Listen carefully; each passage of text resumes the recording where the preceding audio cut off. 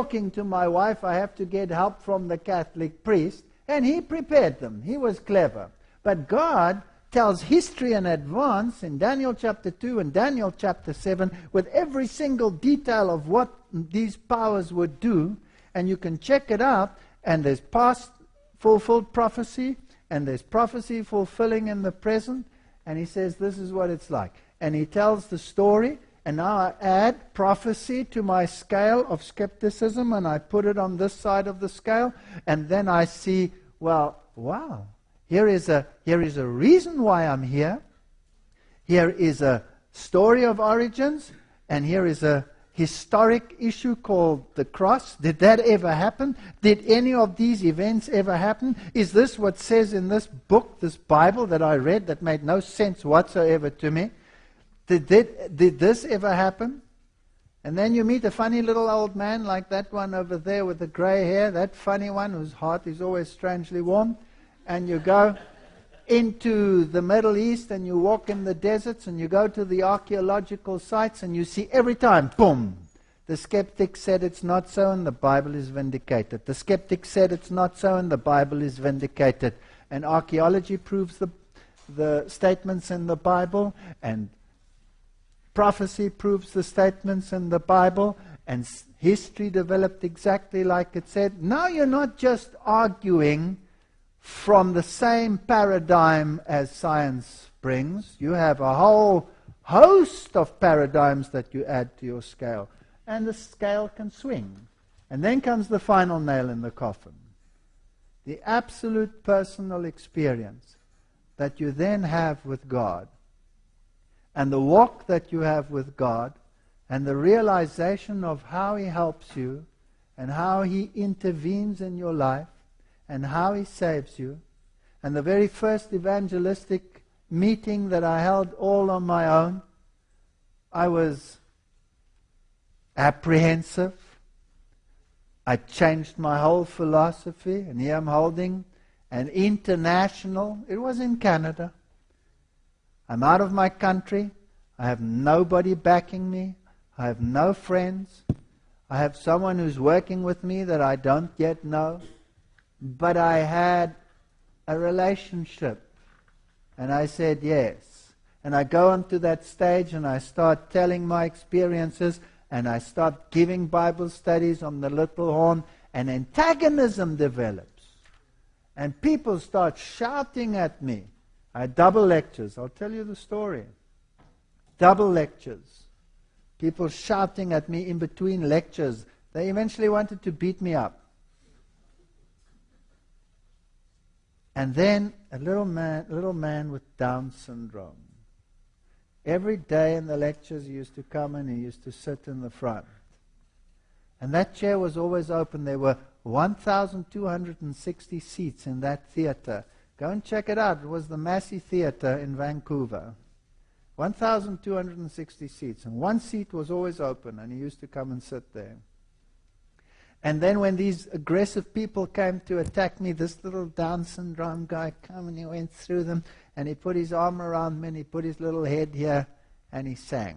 La la la la la. He was very down. He couldn't even speak. You cannot shout at someone, even less can you beat someone up who has a Down syndrome kid hanging on him. it's a physical impossibility.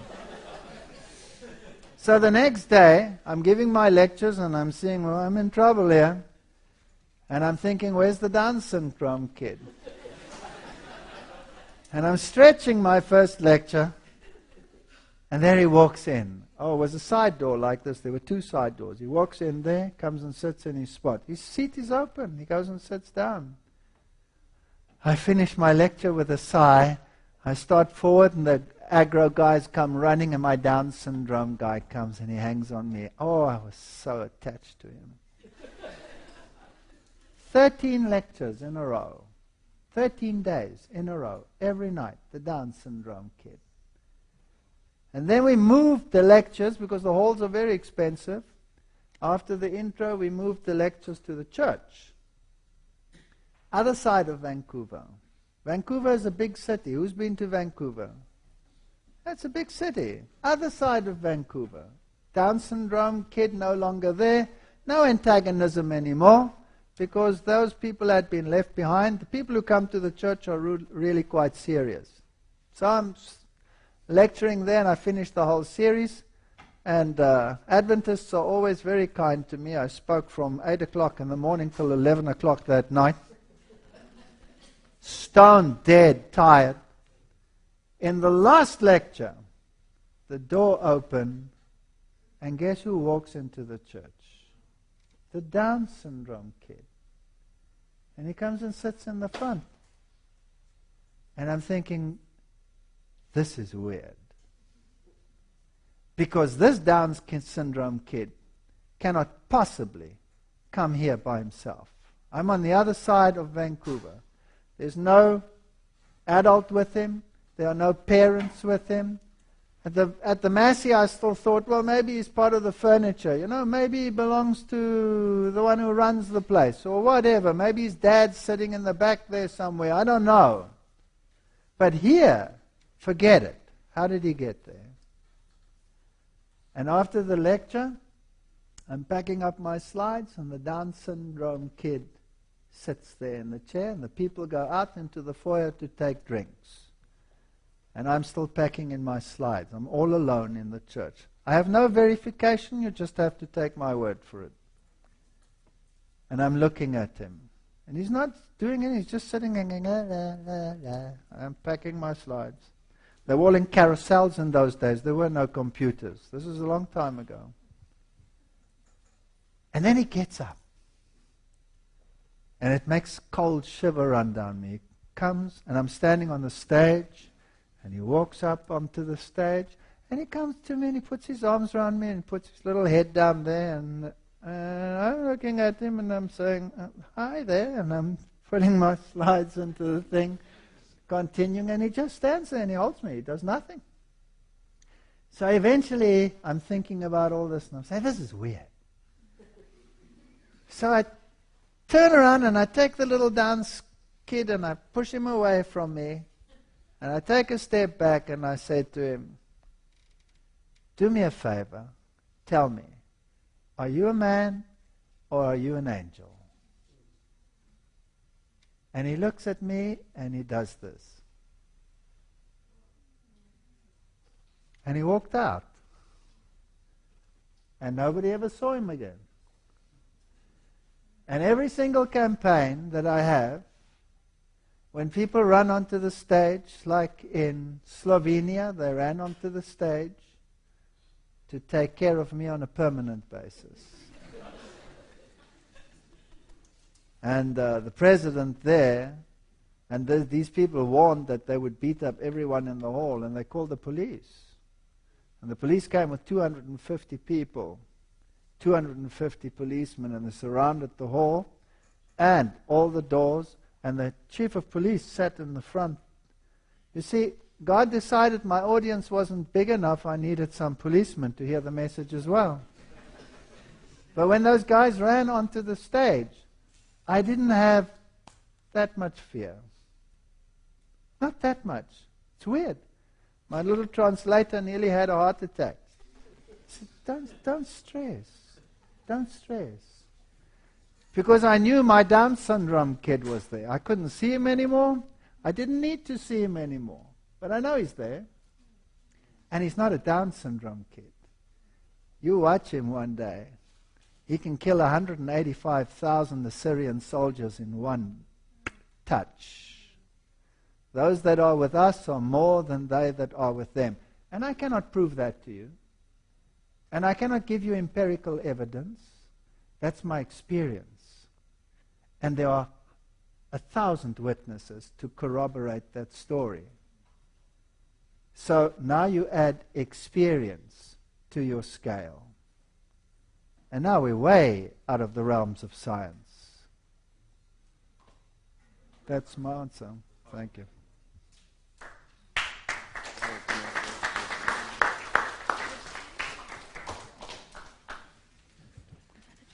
First of all, I, I should I'm, I'm right here, by the way. Microphone didn't move very far. I should apologize because I, I raised my hand initially saying that I didn't know who you were, and then after a few minutes of you lecturing, I realized I've heard you speak before, so I apologize to mislead you to begin with. No problem. Um, I'm trying to, I'm trying to put together sort of um, what, you know, what I can gather is is your picture of, of God, and so what? Am I accurate in thinking that you think of of God as being like, um, you know, a, a, a personal God, like one that one that is taking like active active interest? measures to like to like change things on, on earth because I, I the reason i ask is, is you said something about you said the word intervention before Yes. and i was curious to know like is it, is it your belief that like god intervened in your life and that's how things changed or or are you open to the possibility that like god was always there and the truth was there and the design was there and the plan was there and then enough stuff went awry for you that you finally were like, you know, that you, that you made the choice, and then once you were, you know, once you had done that, the thing, you Let me say, even as an evolutionist, even as an atheist, I have to admit there is no such thing as an atheist. It Doesn't exist. Everybody has some philosophy. And maybe there was something out there, I don't know. But everything is naturalistic. He's totally divorced from everything that happens on the planet. He has no direct involvement. You can have an idea like that. But the cross negates that. The cross is a very personal encounter of a very personal God with very personal emotions and very personal concerns about every single one whom he associates with. And that's the God that I have got to know. This God is a personal God. He's a personal friend. I can pour out my heart to him as I would to a friend. I wouldn't like to go anywhere, least of all to La Sierra, to this hall, without him. I cannot afford to be without him. And I have learned that no matter what the situation, whether it's a good time or whether it's a bad time, didn't Paul say that too? In good times, in bad times, in hunger, in poverty, in prosperity. No matter what happens, I know He's there. I know He takes care of us. I told the story, my wife over there recently ran out to go and tell my daughter not to go away, drive off without praying.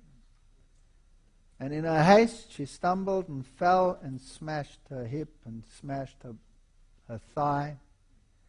And she had to have uh, total replacement of the hip, but there was nothing to screw it on. They had to put bone in there. They didn't have bone. She lay on the operation table for 12 hours, waiting for replacement bone to come. They put it together. You ask yourself the question, Lord, look, why me? Why us? We do all these things. Wrong question. Why not us? Why not us? Why should it only happen to other people, right? But then, eventually you get to the point where you say, you know, it's hard because this thing doesn't grow on and the screws are loose and you, you're walking for a year and a half on crutches and you're thinking, does God really a care about my personal situation? And my wife was doing shopping for something, and we were in a mall, and she was looking in the stores to see if there was a sale on here or a sale on there, and we were in a hurry. And then she came to this one store and she looked, is there a sale on? There was no sale on. And she had this distinct impression, not a voice, but an overwhelming impression go inside. And she resisted it and said, Why? There's no sale on. And then she got the overwhelming impression, go inside now. And she took a step forward. This was just a few weeks ago. And in her heart, she had this turmoil. Does God still care about little me, or is it only, you know, this husband's ministry that's important? I mean, people feel like that sometimes. As she took the step forward, the huge sign.